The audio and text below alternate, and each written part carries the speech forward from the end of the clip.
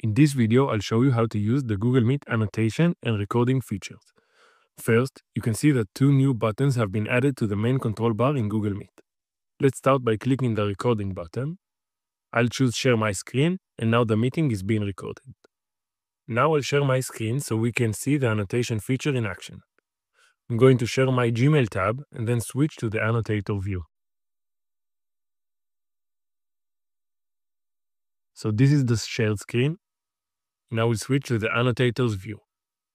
I'll click the annotate button. You can see it becomes active. Let's annotate this Gmail screen. This is what it looks like from the annotator's point of view. Now I'll clear the annotation and switch back to the shared screen. And as you can see, I'm receiving the same annotation on the presenter's screen in real time.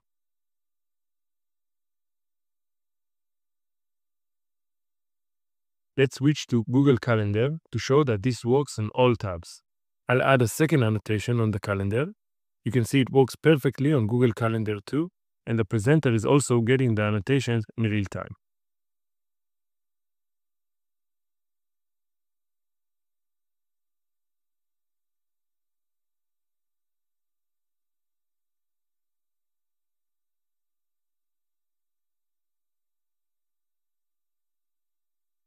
Finally, let's check out the recording feature.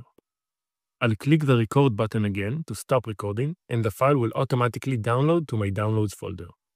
That's it. You can enjoy using these features in your Google Meet sessions.